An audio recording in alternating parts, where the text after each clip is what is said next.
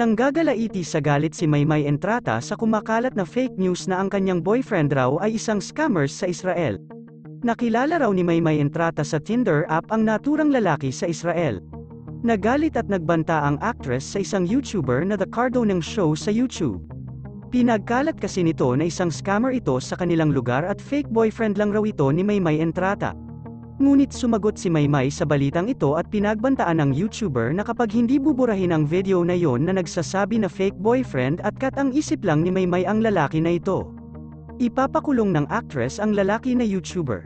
Sa caption naman ni Maymay Entrata sa kanyang Facebook account.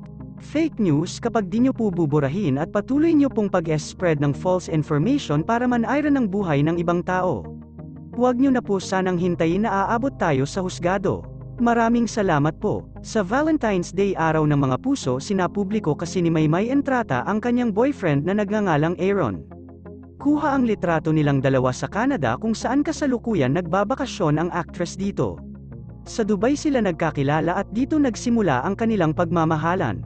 Madaming celebrity naman sa industriya ang nag-comment sa naturang post ni Maymay na pinakilala ang boyfriend sa madla. Ah, Darren, ano yung pakiramdam ng nag-iwan? Edward, ano yung pakiramdam ng nag-iwan? Ay, mali. Wala, wala, wala. Umiwan! Ano ba, ungkat natin dito ba? Ang daming Ay. Ano ka ba ngayon? Pirata ka ba?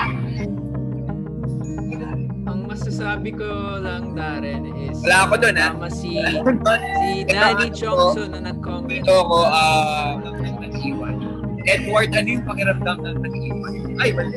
Wala, wala, wala. Umiwan! Ano ba, ungkat natin dito ba? Ang daming Ay. Ano ka ba ngayon? Pirata ka ba?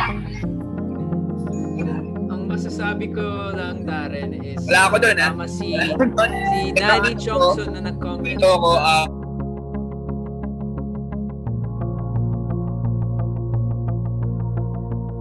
Yun lamang po wag po natin kakalimutan mag-subscribe sa ating YouTube channel at click ang notification bell para updated ka sa ating mga latest chika update. Maraming salamat po.